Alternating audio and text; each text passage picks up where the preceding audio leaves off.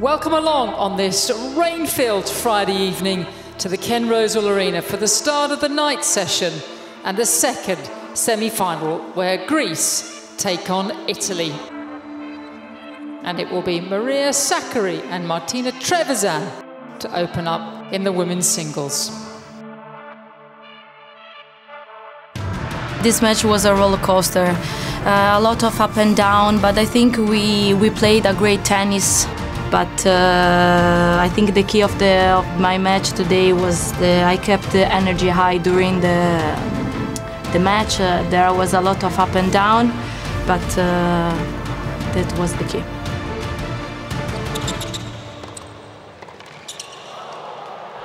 That just about sums up her set, and Trevisan will take it with a smile as Team Italy take the first by six games to three. Uh, everyone knows how Maria she is. She's incredible fighter. She's an incredible player.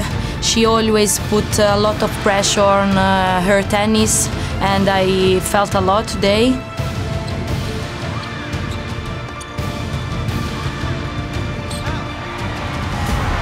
Level as Maria Sakkari dramatically takes the second set on a tiebreak. After the second set, uh, I was uh, very nervous and uh, maybe uh, even a little bit tired because uh, uh, it was very nervous second set, a lot of nervous high. But I'm really happy because I kept my energy up for. I tried to do it for all the match, and it worked. So I'm really happy to to do it. We're getting used to ridiculous shot making, aren't we? It's just incredible. This tennis has been phenomenal.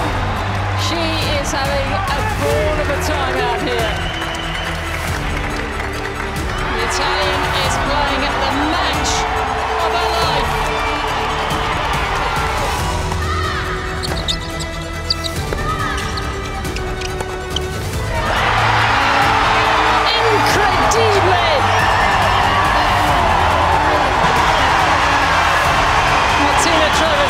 smiles her way to the win of her life. 6-3, 6-7, 7-5.